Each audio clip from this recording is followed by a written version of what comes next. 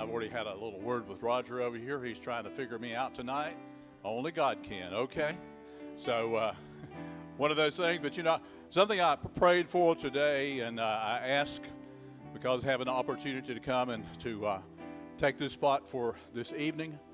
And I said, Lord, give us 12 people. We got more than 12. But you know, one of the things I wanted 12 people 12 turned the world upside down. Whew. And I know that tonight, what God has for us to feast on is the fact that we can be one of those who can change this world. And when we look at what God has the ability of doing through a vessel, through us, we just give Him thanks. We just give Him praise for what He's going to do tonight. So welcome to Daystar, and we thank you for coming. And uh, just remember what it's all about. We came to praise Him, we came to worship Him, we came to give Him thanks and glory for all those things that are coming forth. And, and real quickly, we'll run through some things that's coming up. And one thing that's coming up too that we have a table shower out here for Brianna. It's out, uh, she's going to be baby girl coming our way. So the table set up out here near the foyer. So just be knowledgeable of that, okay? And the music ministry meeting is going to happen not, wasn't today, it was next week. How about that? See, I was trying to use my memory. How about that? See, anyway, in the Carowinds trip, okay, that's on the 23rd. And of course, today you were supposed to see someone about giving them money. If you didn't do it, it'll still be okay. Just give them your name, all right? And remember Catalyst coming up here on November the 4th. And uh, if you can help provide in there and do things, it'll be most appreciated there. So just keep this in prayer. Senior Adult Fellowship. And uh, in the midst of all this, we're getting older. How about that? So some people like to sit down and eat. All right, so we're going to go to Jones's Fish Camp. Uh, some people get excited about that, but the one big thing we're going to leave here at 5:15 on that Saturday afternoon, and we're going to be sitting down somewhere around six o'clock.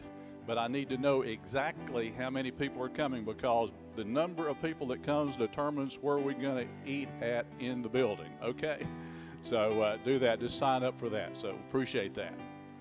Okay. And remember, tomorrow evening at 6 o'clock, uh, we're going to be having our prayer time. And uh, God does some mighty things in that, that He can reveal unto us the needs and seek prayers that are answered and know and have those knowledge of that. So we just praise God for that. Also on Wednesday night, going to be back in the book of James. So I'll be here at 7 o'clock uh, for that. Okay? Of course, all the classes and everything there, the young adults, all the kids all this is happening and nursery schedule, and if you're on it, you know it. So praise the Lord. How about that? You know what? It's, it's exciting that when we come together and uh, pray together, seek God together, and I'm going to share a little bit later on some prayer things in the midst of the message that God has given. But uh, whenever we look at it, and I know that we have prayed for these individuals, I don't believe anybody else has been added to it. I don't see any. And uh, but as we go through and we pray and we ask God to deliver these people from different situations in their life, whether it be cancer, whether it be other things, whether it be uh, disabilities of any sort. And you know, anything that's hanging on to you is a disability. That uh, you've, you've got to come and to re- release that, it's got to go, okay? In Jesus' name. But all these things, but you know, one of the things that the Lord impressed me tonight is the fact not only to ask, excuse me, not only to ask, but to thank Him. Thank Him. You say, well, it hadn't happened yet. No, you thank Him first. It's the fact that we wait on things to transpire in our lives. We wait on the evidence that we can see.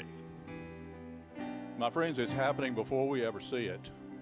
We need to thank God before when we ask. We need to thank Him because that is a, our faith that says, Lord Jesus, you have got it in your hand. You're able and you're complete in this. We thank Him at the very beginning. Thank you, Father, for these things. And we just thank you, Father, for the fact to hear that Lee McFarland, the stroke, and uh, Jeff and Phyllis Turner. Lord, we've gone through them and know them from so many times, Father. We just thank you for uh, turning this situation around. We thank you, Father God, for Leonard Moose, throat cancer, Father God, that you are able to heal it. You're able to bring forth life where there is death that is coming. Father, we just thank you for that. And we just thank you, Father God, for uh, the hospice care, Lord, for the peace over Betty Joe, Lord God, that, that you're bringing. And Father, I thank you for Clay Goodson and, and the Goodson family and the things that he's going through and treatments for the cancer. Lord, I know that you're able to do these things, and we just thank you for it even now. And Father, we just thank you for Hunter, for his guidance and healing, Father God, that, that he can open his ears to hear you speak, not someone else, that you speak into his life. We thank you for that. And Lord, I just thank you for Fred. Lord God, that you will continue to touch him, that you'll continue to heal him and bring healing, Father God. And Lord, we know that his days here upon this earth are not long, but there will be a complete healing across the river. On the other side, when we get home, all these things will be gone and everything will be changed. And we just thank you for that, Father. We thank you, Father, for Mary, who has given her life and uh, in the ministry and majority of the time in New York City and Lower Manhattan. She was there whenever the towers came down, and, and the cancer and everything she's suffering from has been brought on by those things, what she endured during that time. But Lord, I just thank you for Mary and, and her testimony. I thank you, Father God, for, for what she's doing in the midst of all these things, Father. Lord, I just thank you for your healing power upon her. And Father, for Aaron Brightman, Father, we just thank you for, for guidance and protection upon his life. Lord, guide him. Take him by the hand, Father, and lead him through these times, Father God. I just thank you. And Lord, for Matt, I thank you, Father, for, for his throat condition, Father God. I thank you that, that in the midst of this, that there will be a time that he can learn and he can sense you and he knows your presence and he can sense your presence even as you're bringing forth a newness in his life and in his body. I thank you for that, Father.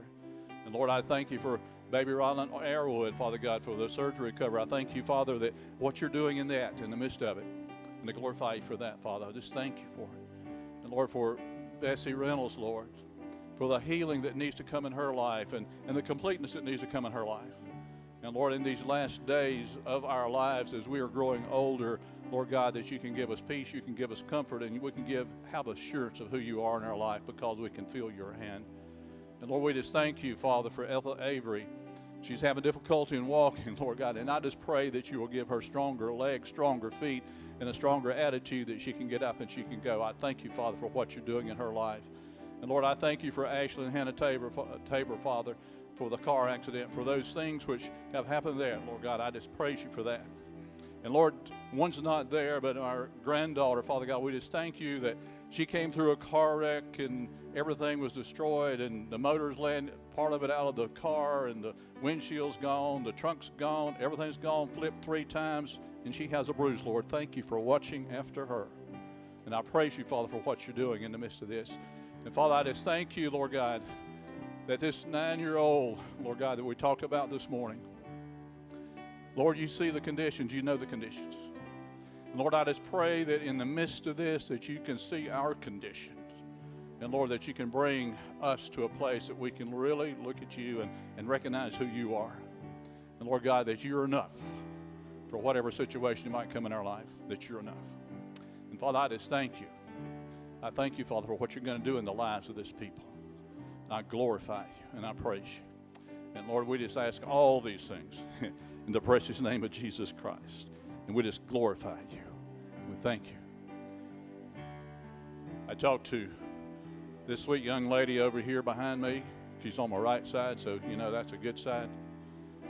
She's going to bring a song to us. And after that, then we'll get into the message of the scripture, what God has for us today. Okay?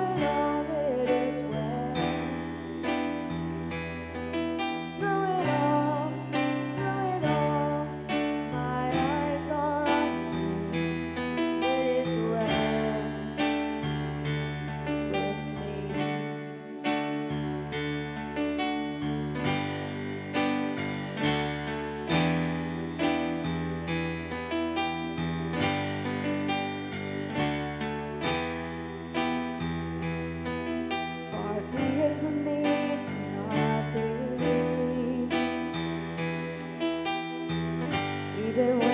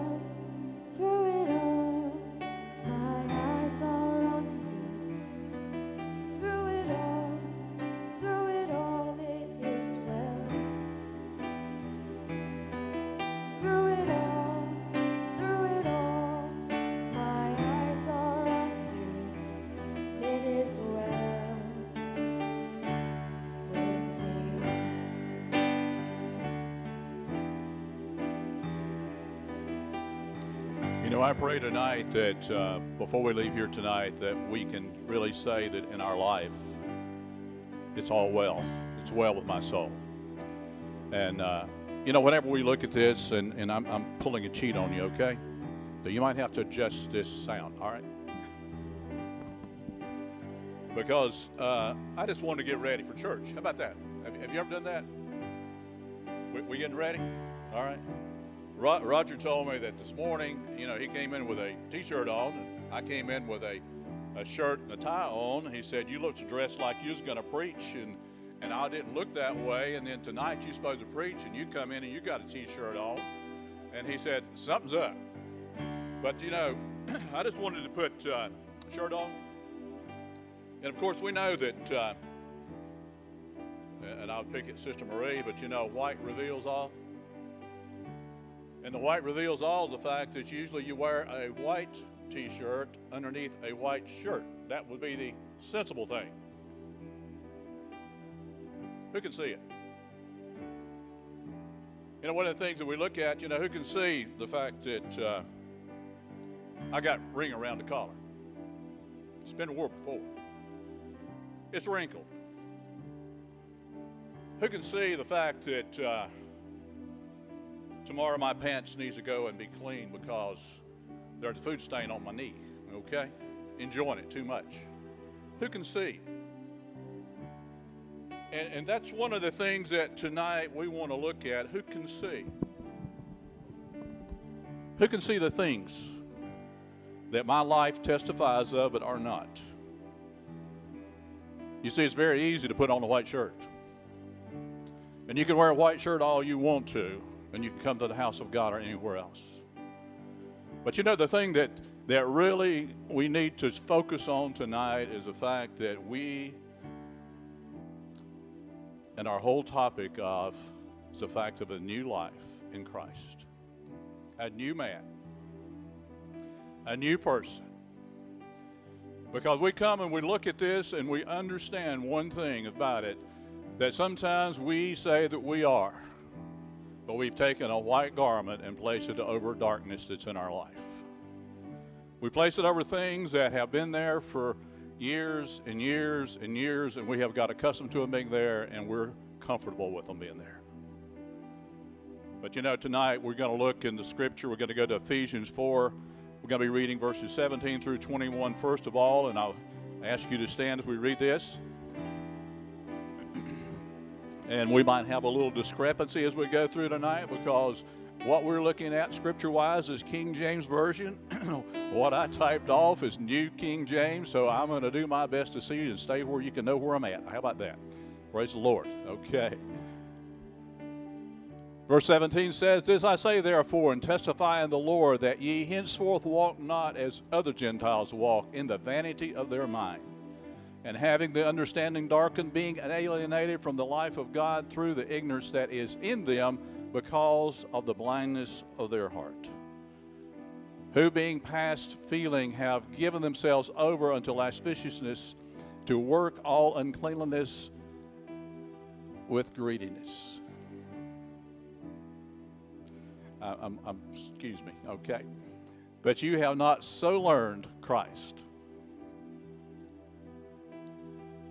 If so, that be that ye have heard him and have been taught by him as the truth is in Jesus.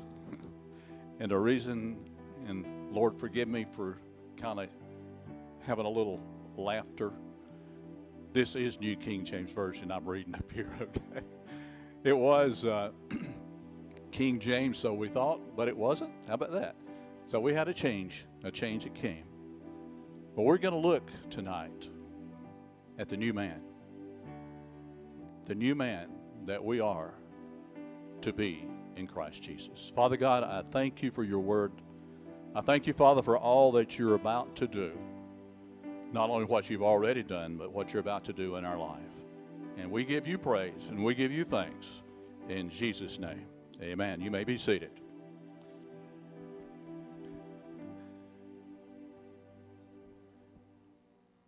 One of the things that Paul is writing here to the church of Ephesus, he said, This I say therefore and testify in the Lord that you should no longer walk as the rest of the Gentiles walk in the futility of their mind, or another word for that is vanity of their mind. Now, whenever you come and you look at the very fact of how are we walking? And you have to understand that the, the here the Ephesian church, the church at Ephesus, they were Gentiles.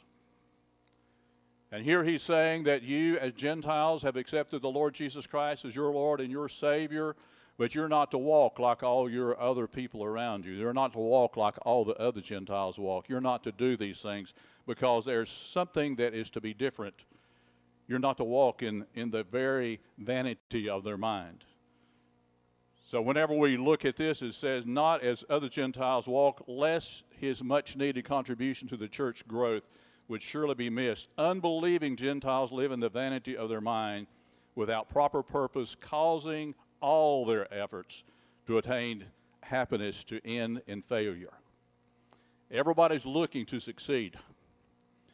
But here, Paul is writing to the fact that here, as you're, if you're walking as a child of God and you're walking like other Gentiles, you're not going to succeed. You're going to be a failure because that's not the purpose of it. That's not what it's all about. He says, well, what, what is vanity? What is futility? The fact that whenever you're conceited, when you have extreme pride in your ability, when you have pride in your possessions, and of course I can't speak for me, but when you have pride in your appearance and your beauty, okay? So, so in those things, you know, where, where do we rest at? This is what I'm all about. This is me. This is where I'm at. But if we walk like the other Gentiles walk, because these were some of the things that the other Gentiles were doing, they were looking at things that they could do, that they had, that they were superior over. And yet Paul is relating something else. It says in verse 18, and says that by having their understanding darkened, being alienated from the life of God, cause, because of ignorance that is in them, because of the blindness of their heart. What can't they see? The blindness of their heart refers to the darkness of their will, Gentiles fighting against the divine will that has caused them to be separated from God's life. Whenever we start fighting against God's will, you ever fought God's will? Have you ever fought God's call? Have you ever been in a place where God is directing you or asking you to do something and you're trying to find something else to fill that spot so we won't have to bend and go that direction? One of the things that we can relate to and so many times in our life is the fact that God calls us, God wants us to do certain things. And I'm going to share something with you in just a few minutes about yesterday.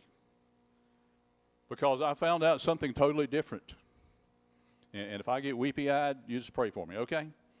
But whenever we come through things and we loaded up the trailer and we were going to the farmer's market, and you know, you go with prospects of selling something and doing something and, and having a, a great day from it, nothing's happening. Nobody's buying. Few people come by and looked and said, wow, and walked off. You know, sometimes you look at it, well, this day's a waste. But the story's not finished yet. We'll get there in a little bit. Whenever we see God's divine will and the ignorance that they had about His will was there because of something we're going to find out just in a moment. In verse 19, it says, Who, being past feeling, have given themselves over to lewdness, to the work of all uncleanness with greediness. Being past feeling means to become callous, become hardened. These unbelievers have gone to so deep in sin that they're insensitive to the moral right and wrong. They don't know what it is anymore. They don't know what's right and what's wrong. You just go and you live and you do it and you keep on going. Don't know whether it's right, whether it's before God, whether it's right before the people that you're a witness to, whether it's right or wrong. You're just living. But they had gone so deep they had lost all ability to know if what they were doing was right before God or whether it was wrong. Verse 20 says, But you have not so learned Christ. You didn't learn it from him. The writer goes on further to say in verse 21, he says, If indeed you have heard him and have been taught by him, as the truth is in Jesus. Every bit of the truth that we need is in Jesus Christ. And that which he speaks is the statement, his statement, and that's all that we need. To learn Christ means to learn Christian teaching. To learn Christian doctrine has instructed the readers not to live so, to live as unbelievers. I know that Pastor Roger was talking about this morning things that that uh, will relate and keep people uh, or take people out of the church, if you want to put it that way. But I'm going to put it another way. It's not keeping them out. It's the fact that you come in our area today and we look and understand. And I praise God for every new person that comes through the door and uh, every visitor that we have. And give God glory for that because of the fact that there's something that people are seeing in the churches today, not only where in this meeting house where we're meeting at, but in the churches around our county and around our country. They're seeing something that is not attracting them, and what they're seeing is me and you. They're seeing us. I know that, and I want to pick on Miss Catherine Cat. She didn't know that was coming but uh, she's hiding now from me. anyway, that uh, she requested something. She requested because she, since she had believed upon the Lord Jesus Christ, she had not been baptized, and she wanted to go up to the mountains and she wanted to be baptized in the stream. So forth we did. Okay. But let me tell you something. A lot of people who was looking at this young lady prior to that event and prior to the event that the pictures went on Facebook, and prior to the event that she told her friends, and prior to the event that even as she, and I'm putting her on the spot tonight, okay? But even these things, that all of a sudden there comes a critical view of her life. Is she? Are you? Whenever you say that I go down the street and I go to this church or that church, I do this or that, or I'm a member of such and such a church, back behind this because I've been in the conversation, I've heard people talking, and here they start qu- giving a, a real affirmative question Do you really mean them? I don't see it. You see, the reason that there are not a lot of people that comes in our doors is the fact that they can't see someone to mark it or to mark their life after in the people they're looking at. Because there are certain things in their life that are not right. We're going to go on down to the next verse of Scripture, verse 22 in Ephesians 4. Just follow along.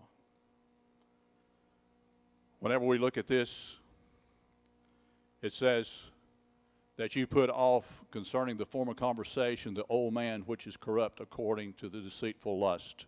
In verse 23, and be renewed in the spirit of your mind Verse 24 says, And that you put on the new man, which was created according to God in true righteousness and holiness. First thing that happens in verse 22 says, You put it off. You get rid of that former conduct. You get rid of the things that comes out of your mouth. You get rid of the things that you've been doing. You, your life has changed. You're a new person. You get rid of the habits that you had. You get rid of the, the language and the slang that comes out of your lips. You get rid of those things. You put them off. You're to talk to be to put off the old man, to renounce the pre-conversion life and sins. It's gone. It's gone because you have accepted Jesus Christ, and Jesus Christ has come, come in and He has brought His life into your life. And it's for us to remember the fact that wherever we go, Christ goes. Because if Jesus Christ truly is living in our life, that wherever we go, whatever place we go to, whatever we hear, whatever we see, whatever we touch, everything is there before Christ because Christ is in us. And as Christ is in us, then we are subjecting Jesus Christ to all types of things. When you stand there and look, look at trash or listen to trash and everything else, you are subjecting Him not only yourself, you're subjecting Jesus Christ to that filth. So whenever we look at these things, it says to put it off. What does put it off mean? It means take it off, just like a shirt. Take it off. But also it says that here that we are to be renewed in spirit of our mind, to be constantly changed and be brought more and more into the line or into the line of God's own viewpoint. That every day that we're to be closer like Jesus Christ, we were to be closer to being like God than we have been the day before. Today you ought to be closer to him than you were yesterday. Tomorrow you ought to be closer to him than you are today. Because we are to be transformed. We're to be changed. We said in our life that we're changed. But whenever we're coming and we're aspiring to be one thing, that whenever our time comes to stand before Jesus Christ, we're going to be just like Him in thought, in mind, in heart, in speech. we got to get there in a minute, okay? Whenever we think about these things, but it says here in verse 24, and that you put on the new man, which was created according to God in true righteousness and wholeness. That is to assume a new nature a character, and conduct our life at conversion. And we say that something has happened in my life. And of course, I've heard all the teachings and everything else that, you know, you can change something and you can change your, your mind, your heart, but it takes a while to get on the outside change and everything, to get rid of all the old habits and get rid of this and get rid of that and everything else. I just, I just praise God for the people, you know, and I've heard a lot of people say, you know, and testify the fact that I used to smoke, but now it even makes me sick if I smell it. You know, it, it's been a transformation. It's gone. That desire's not there any longer. And, and I pray that in our life that those things that once we were are not there any longer. It's gone. We're going down to verse 25 in, in this same chapter, and we've got a little bit of verses to go through tonight, and we'll do it hastily. But do not grieve the Spirit. Verse 25 says, Therefore put away lying. Let each one of you speak truth to his neighbor, for we are members of one another. Verse 26 says, Be angry and do not sin. Do not let the sun go down on your wrath. Don't sin in anger. Don't let things upset you. Don't let the sun go down on your wrath. Verse 27 Nor give place or an opportunity to the devil. you know what we're doing when we get all upset and angry? we get pulled out of shape, we're given an opportunity for Satan to use everything that we do, everything we say, he's going to use it. That's his doorway into your life. That's his doorway to tear you down. That's his doorway where somebody that's looking at your life, they say they're a Christian, but they're not. Just listen at them. Listen at their response. Verse 28 says, Let him who stole steal no more, but rather let him labor, working with his hands that is what is good, that he may have something to give him who hath need. Verse 29, we're looking at the new believer, okay? Verse 29 says, Let no corrupt word proceed out of your mouth, but what is good for necessary edification or building up that it may impart grace to the hearers, to the people who hear it. I'm letting God's word speak tonight. His word is stronger than mine. His word is purer than mine. But yet, when we hear this, we need to understand what it's saying. Verse 30 says, And we do not grieve the Holy Spirit of God, by whom you were sealed for the day of redemption. Don't grieve the Spirit. Have you ever thought about it? And everybody's got one right by you. A messenger sent from God, an angel. A spirit that's there that hears you, that knows you, that senses everything you're doing. And you know, if they could talk to us, we would hear certain things like, What are you doing? What are you thinking about? Have you lost it? You know, that, that's, that's my wording, okay? Because the Spirit of God hears and knows and is knowledgeable of everything that we think, everything we do, everything we say. What are you doing? And I, I asked Mr. Timms because he, he's, he's a, a- an intellectual fellow back over here, you know, this morning. Because it's been so long, you know, I you can tell I'm young, but I do remember CB radios. And when we was going up and down the road chattering on these things, and, and my question was, you know, you're hearing all about this and the 1050s and the 1020s and all this kind of thing. And I was not clear on what the 1020 was. I was thinking it was, you know, like, what's your location? Where are you? so I, I was trying to find out from him so I could use it tonight. How about that? So I done used it. What's your 1020? Where are you? Where are we today as a believer? Where are we today in the profession of our life and confession of who we are? Where are we? Because I believe that many times that we come and we do grieve the Holy Spirit because we're not where we need to be. We're not where we need to be in, in the fact that as we do these things and we are sealed for the day of redemption by the Holy Spirit, and yet we're grieving the Holy Spirit. Verse 31 and 32 says, Let all bitterness, wrath, anger, clamor, clamor means loud quarreling, and evil speaking be put away from you with all malice, with all care. Just get rid of it. And be kind one to another, tender hearted, forgiving one another, even as God in Christ forgave you. He forgave you. Why do we go through all these different things in our life? Why do we have all these anger issues? Why do we have all these things that upset us?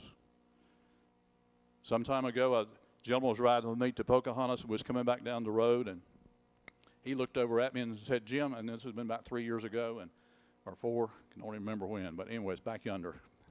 Time passing fast. he looked at me and he said, Why don't you get upset?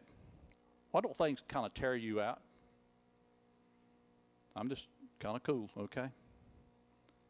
I just kind of go along with whichever the way the wind's blowing. I know which way it's going, you know. But you know, it is not worth your testimony to let Satan come in and destroy your life before somebody else and destroy the witness that God has placed in you.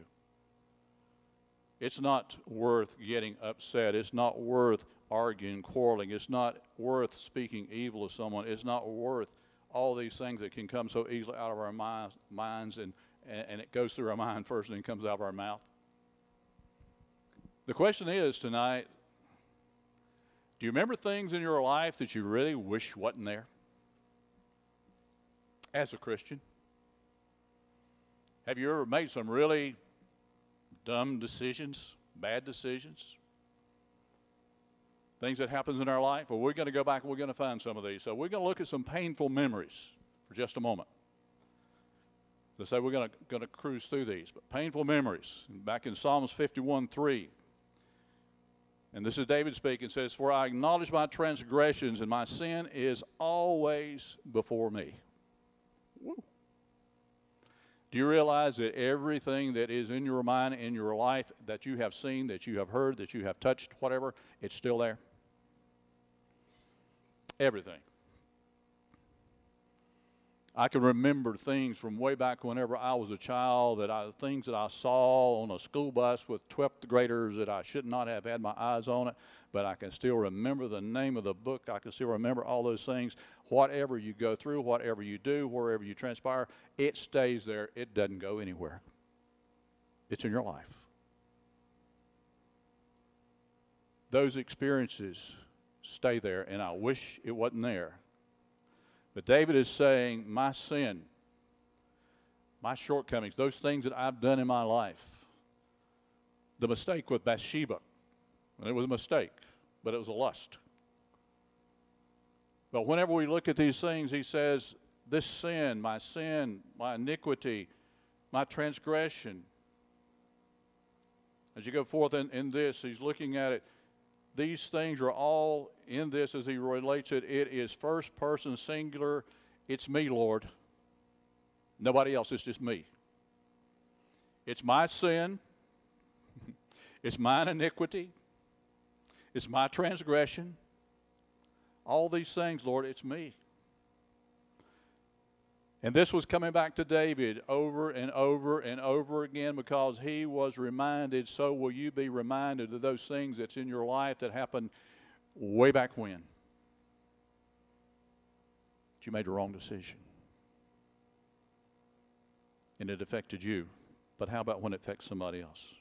In Psalms 37 1, we can look at this, and it says, by the, and of course, this is out of Psalms, and it's talking about the fact of during the captivity, it says, by the rivers of Babylon. They've been gone into Babylon. It said, by the rivers of Babylon we sat down, yea, we wept when we remembered Zion. Whenever you read this psalm, it is a vow of remembrance. And it also is a prayer for judgment. That we remembered Zion. We remembered what it was in God's city. We remembered what it was in the temple. We remembered what it was whenever God restored and when God brought us through things in our life. We remembered, but now we're separated from that. We're not there any longer. We can go down and we can look at Peter in Mark 1472. And it says, In the second time the cock crew, that Peter called to mind the word that Jesus had said to him, Before the cock crow twice, thou shalt deny me thrice. And when he thought thereon, he wept. Jesus told him, Peter, before the rooster crows, the second time, you're going to have already denied me three times. Oh, Lord, I'll go with you all the way. You know, that's what he had just confessed. But now he comes and he's saying, I don't know this man. I have not been associated with this man. And he denied him. You know, the grace of God. During this, despite this lapse in Peter and, and denying Jesus, Peter will be forgiven and Peter will be accepted and Peter will be restored again into the Lord's service. Whenever you come to the 16th chapter and the 7th verse, which you do not have, it says, But go your way and tell the disciples and Peter that he goeth before you into Galilee, and there ye shall see him as he said unto you. Tell Peter. Tell Peter to come on. And I know that when we're talking about tonight in denying Christ, when doing things in our life as a child of God, as a follower of Christ, that there is still forgiveness in those things. We go on back to Paul, named Saul, 1 Corinthians 15 9. It says, For I am the least of the apostles, that I am not meant to be, or I'm not worthy to be called an apostle, because I persecuted the church of God. In Acts 9 4, you don't have this either yet, I'm sorry the Lord said as on that Damascus Road meeting, it says, Saul, Saul, Saul, why are you persecuting me? Why are you persecuting me? He said, I'm persecuting the church of God. Jesus said, Why are you persecuting me? Okay? It's me. When someone does something for or against a Christian, Jesus Christ not only knows, but he feels it, just as you do. When somebody is afflicting you, when somebody is speaking against you, when somebody is doing something against you as, as his child, he feels it. When the pain comes upon you because of someone coming against you for your stand in Jesus Christ, the Lord, he also feels it. But then we'll get a little deeper in things that we don't want to understand and we don't remember because it's painful. In 1 Chronicles 21 17, it says, And David said unto, the God, unto God, Was it not I who commanded the people to be numbered, and I am the one who has sinned and done this evil thing? But these sheep, what have they done? Let your hand, I pray, O Lord God, be against me and my father's house, but not against your people, that they should be plagued. The Lord had sent a plague upon Israel. 70,000 men of Israel fell because of a decision David made. David had the people numbered. When he stood there before Goliath, he had a little slingshot and he had a rock. And he trusted God. Now he's king. And there's an enemy who is coming. And he has numbered the house of Israel at a million one hundred thousand. He's numbered the house of Judah over four hundred thousand men. And there are this armies that are going to go out against them and fight. David wanted to know how many was there. He sinned before God. Why did he sin? David was going to trust the strength of the number of men to do battle, not God. Now, this is bringing a lot out in the fact that us as a believer, David sought after even the heart of God. It asks a question in whom or what do we trust? Do we believe, believe God? Do we trust in Him and what He's, what he's doing, what He said? We just got two more in the in reminders. In Matthew 27, 3, 3 and 5, it says, And Judas, his betrayer, seeing that he had been condemned, was remorseful and brought back the 30 pieces of silver to the chief priest and the elders. He threw down the pieces of silver in the temple and departed and went and hanged himself in verse 5 is what speaks of.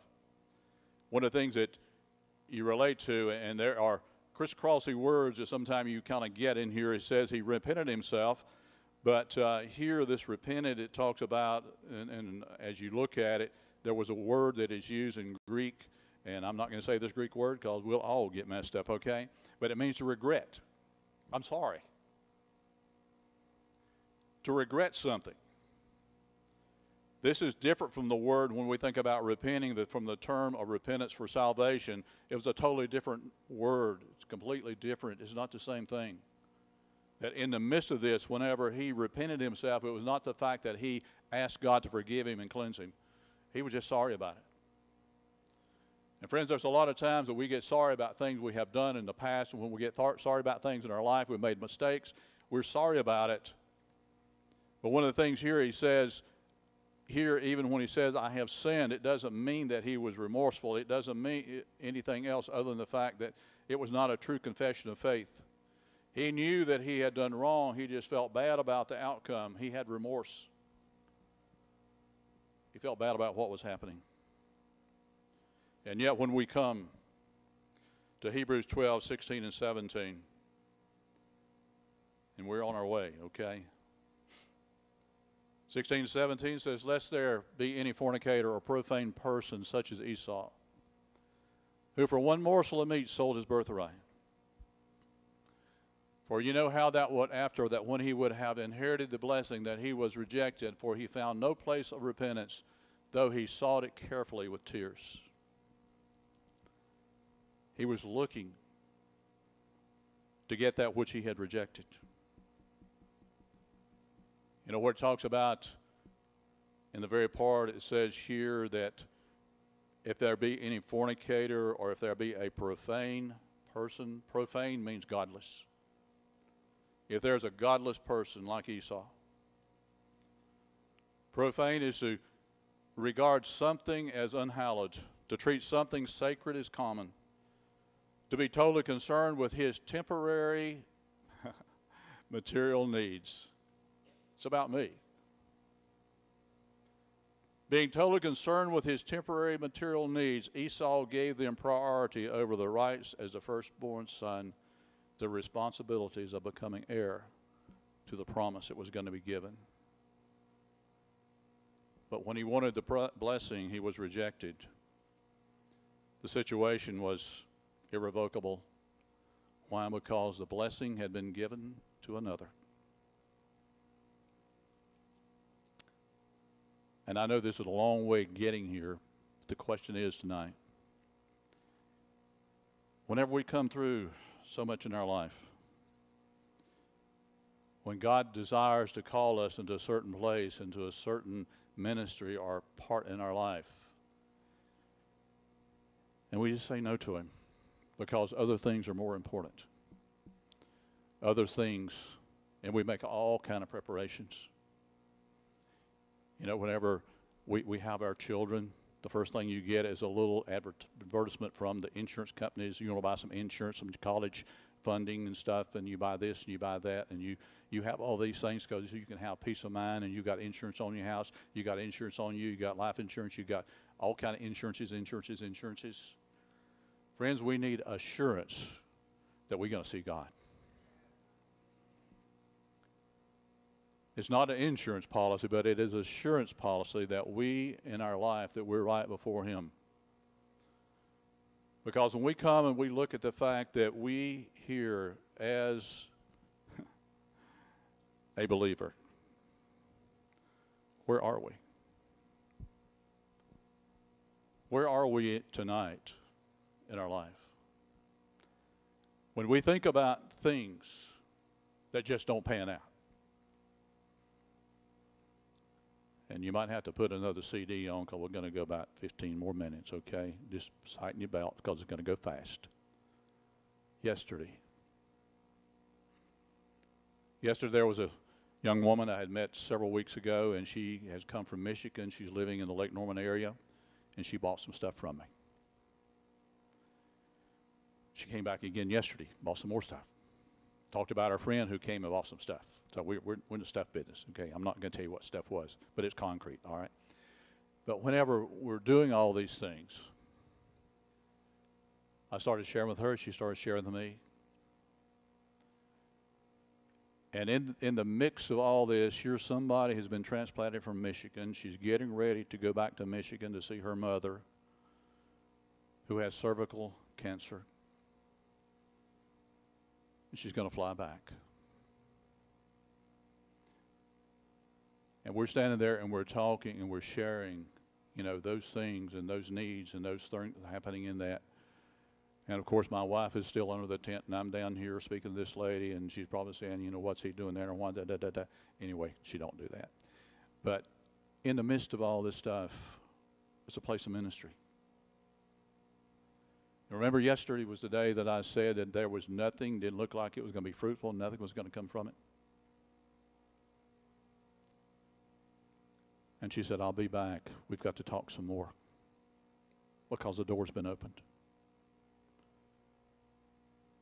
And there was a lady who called me, and, and in my phone, her name is Linda Leaf. Because Linda called, and that's her first name, and, and she was calling about a concrete leaf that I was going to make for her. I kind of instructed her on how to take care of the leaf on the way because the leaf dries out, okay? Because I was going to have to make a concrete one off of her pattern. and whenever I was in the midst of this and talking to her, then she came. And I just want you to know how good God is. She came and her husband came up, and I, I, couldn't even remember. She said, I talked to you several weeks ago, and I was trying to put faces with people's voices and everything. And sometimes for a fellow that's pushing some age, can't remember all that. But anyway, they came up and he started talking. She started talking, and she had a bag and she wanted seashells put on her leaf. So she had those precious things that she had collected. She wanted to put on there.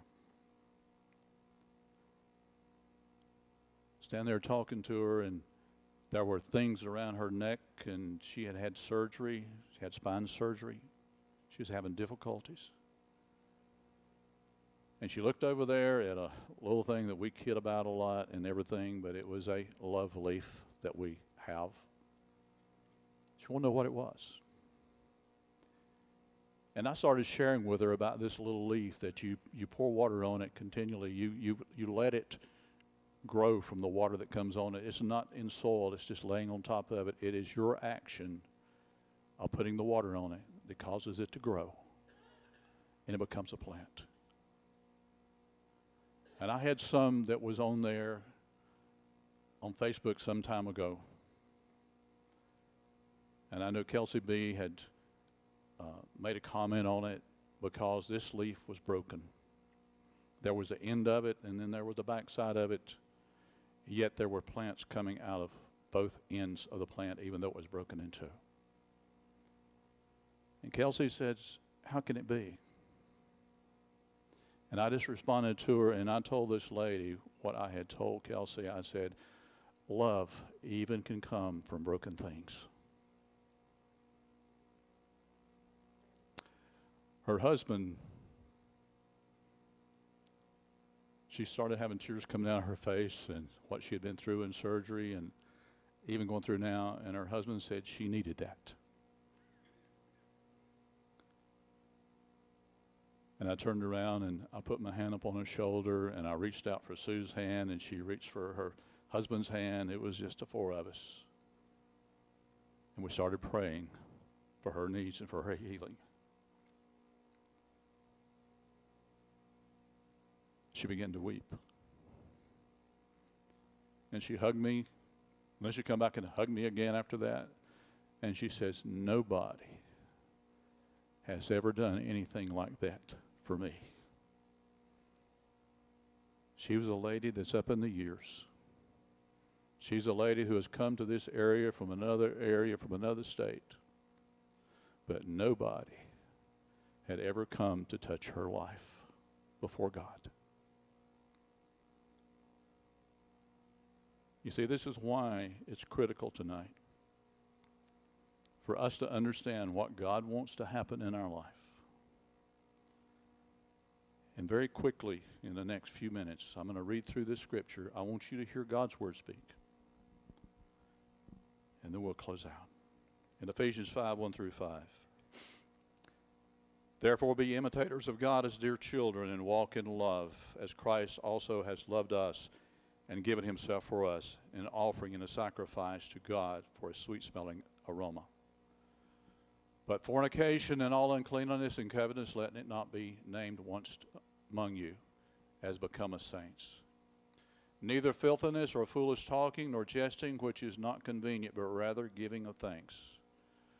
For this you know that no whoremonger, nor unclean person, nor covetous man who is an idolater hath any inheritance in the kingdom of Christ and of God. All these things speak to the fact that this is the way of the believer.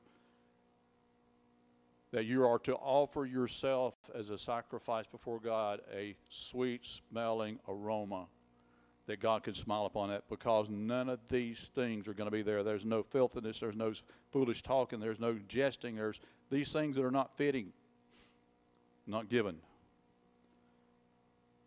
that no fornicator, or unclean person, or covetous man, nor idolater has any inheritance in the kingdom of God.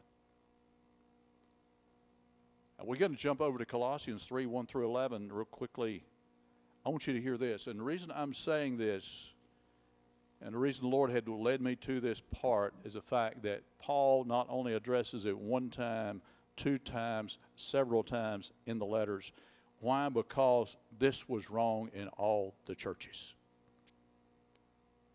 And friends, if it was wrong in Ephesus, if it was wrong in Colossae, if it was wrong in all these places where he has related to it in the letters, then my friends, I believe that even in our midst, our midst it's wrong.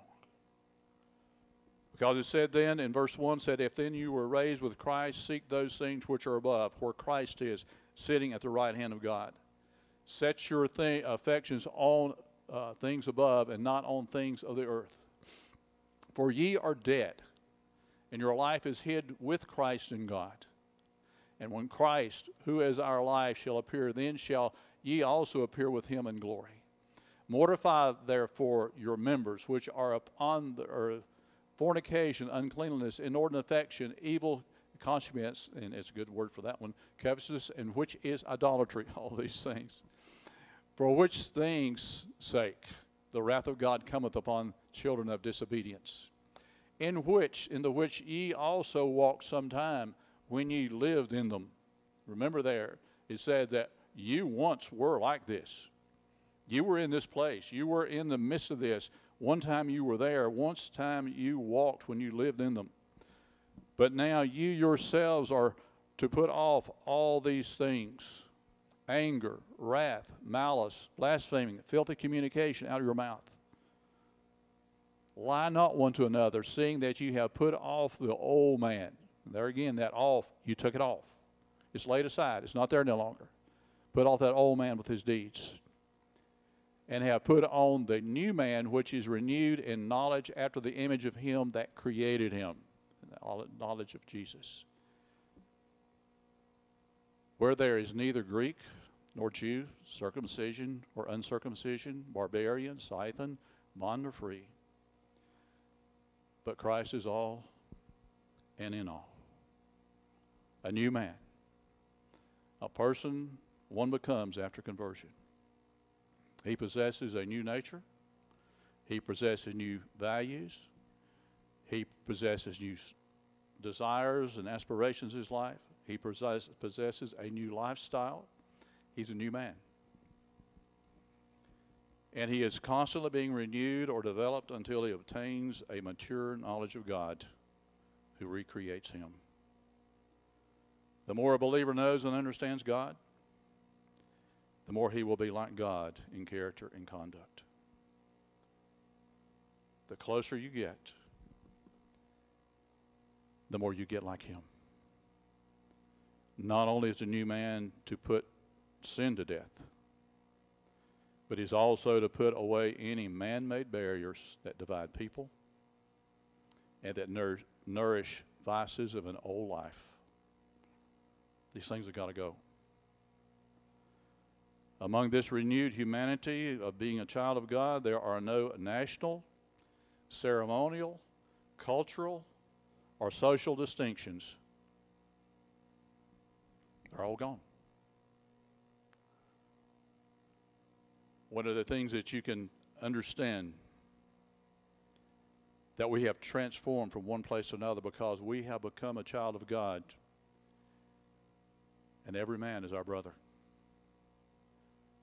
Every man is our brother. Every man that we see, the fact that he is our brother, he, she is our sister, because now there are no more distinctions. It does not matter what color of flesh they have. It does not matter what nationality they are. It does not matter where they came from. It does not matter where they live at. It does not matter in any of these instances. Nothing is to be a separator from you and doing God's work and God's spokesman uh, as spokesman for Him. There's nothing that will separate us. You can't say I don't hang around that type. If you don't hang around that type or you don't go to that type, then how will they ever hear? How will they ever hear the Word of God if you don't deliver it? And I know in, in the very fact that we need to understand to redeem Christ is all. That is, He is everything, that He is what matters most to them. He and Christ is in all. That is, He dwells in all believers, whoever they are. He's in all. I thank God for what He has allowed us to do, places He has allowed us to go. I thank God for the very fact that in, in the midst of all this scripture, and I mean, we could go through and I could talk and talk and talk and talk, but I'm not going to do it because we're closing. Just want to remind you of something. Back in 1996, yes, I was preaching, campground. We were there for some 30 years. There were a lot of things in my life that wasn't right. But God changed that. In 1996, and we were getting ready to go to Kenya for some six weeks, about six weeks. And I knew in my mind, I knew from what I had seen, I knew from what I had heard that it was going to be a different place and a different people, different tribes, different associations with people, everything. And I knew that in the fact that whenever you get there, if you have got any lustful thoughts or anything like that, that they're going to be tested. Because whenever you come and you understand that people there are not fully dressed or not, and many times you might see something you don't want to see. But the fact that whenever you come and you see these things, it is not to cause lust in your heart. Because it's norm to them. That whenever you go down the road and they ladies will be on the side of the road washing their one outfit of garments in, in the stream and they put them up on the, the bushes to dry and they'll stand there conversing with each other unclad during that time. And, and let me speak to this because God just put it there. It's the fact that it is not their dress or not the lack of their clothing that causes you to sin. It's a sin that's in your heart already. It's your desire that's in your life. It's not how somebody dresses or does not dress that causes you to sin or causes things to come in your life is the very fact that it is already embedded in your heart. It is sin in your life. It is desire in your life that has to be conquered. It said back there in the scripture when we came through, it says it's got to be mortified. That means kill it. It's got to be dead. It can't be there. And I prayed to the Lord before we went that, Lord, shut my eyes, close them to all those things that could come that would cause me to look or to be uh, desirous of something that you might see, whether you want to or not. Close my eyes. And I thank God that He did because we saw.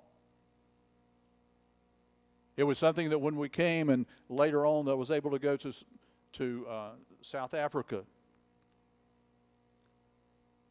and the pastors who were there with us, and we had about 13, and we were in Margate and down on the coast of South Africa. And there was an invitation went out from the mayor of Margate to all the school children to come out and to hear what these people have to say about Jesus. We had 11,000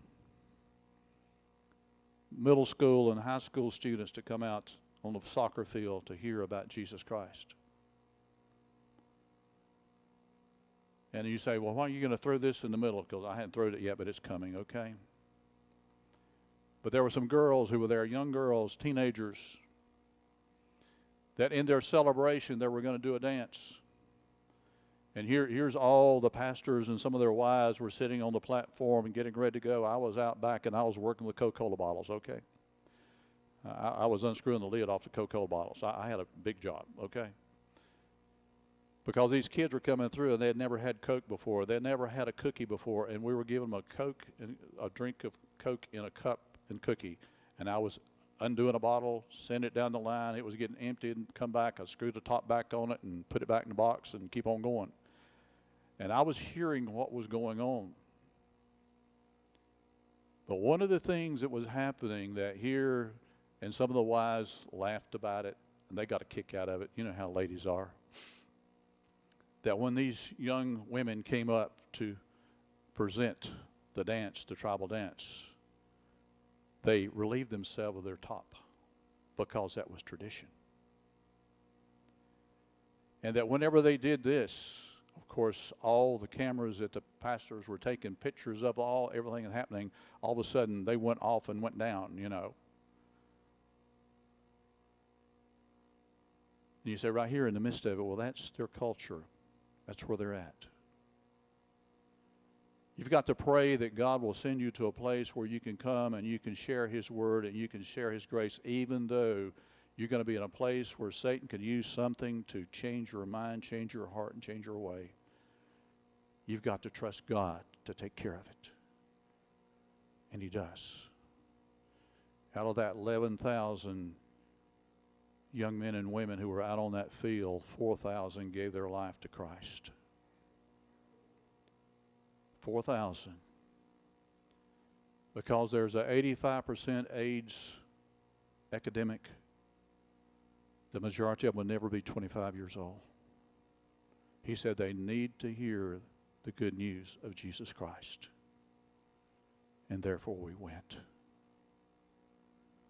Friends, that's the message for you tonight. There's a people out there that needs to hear the good news of Jesus Christ. And just as I said in the very beginning, that 12 people turned the world upside down with the news of Jesus Christ. I'm asking you tonight, will you be a part of that? Will you be a part of delivering the word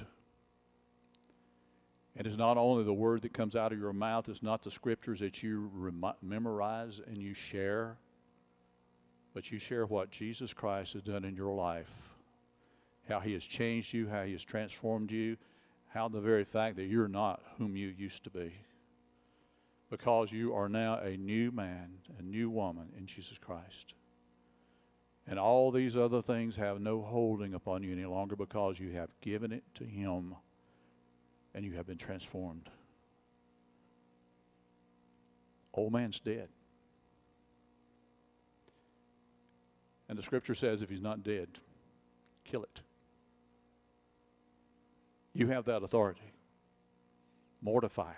That's what Paul says. Mortify it. Put it to death. That it won't come up any longer. And the times of anger and, and all the things that will classify us as, no, they couldn't be a Christian. Let it be passed from us. Let us find a true new life in Jesus Christ. Because He and only He can bring transformation. He and only He can give you a new life. Because today there are a lot of actors and actresses. We've got our shirts that we wear. We've got our face that we put on when we come to church. We go through our different things in our life to put on the perfect picture for somebody to see me that today I'm worshiping God. Friends, how about tomorrow? Who are you going to share Christ with? Who are you going to take by the hand and pray for them that God will give them healing? Who are you going to stand beside of and weep with because their heart's broken?